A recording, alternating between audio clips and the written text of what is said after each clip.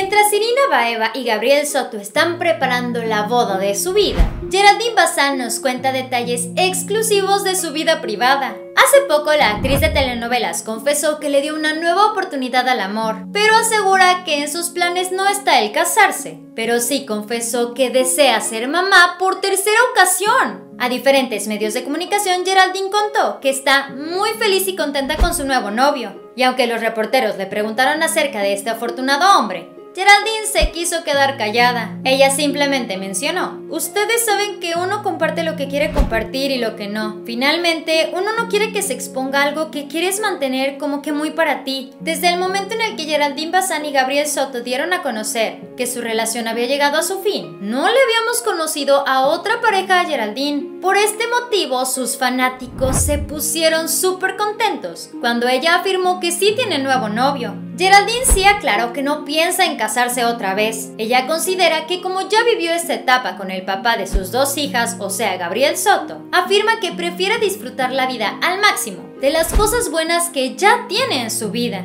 Acerca de esto, Geraldine confesó, yo ya me casé una vez y lo que quiero ahorita es vivir, disfrutar la vida, seguir creciendo emocionalmente y profesionalmente. Esta cuestión del matrimonio no me quita el sueño para nada. Recordemos que Geraldine y Gabriel estuvieron casados hasta el año 2018. En ese momento ambos decidieron separarse. Para ese momento el matrimonio ya había tenido dos rumores de infidelidad por parte del actor. La primera sucedió con Marjorie de Sousa. Una revista de circulación nacional publicó tremendas fotos de Gabriel y Marjorie jugueteando muy cariñosamente. El segundo momento trascendió cuando se empezó a decir que Gabriel Soto ya no vivía con Geraldine y con sus dos hijas. Y el nombre de Irina Baeva, uff, salió a relucir por todas partes. Para ese momento, Gabriel Soto e Irina Baeva habían participado en la telenovela Vino el Amor. Todo el mundo aseguraba que Gabriel le puso el cuerno a Geraldine con Irina. Al día de hoy, tanto Gabriel como Irina siguen asegurando que nunca tuvieron una relación extramarital. Sin embargo, Geraldine piensa todo lo contrario, al igual que el público en general. Sin embargo, cada quien ya se fue por su vida y ahora Gabriel e Irina están a nada de casarse.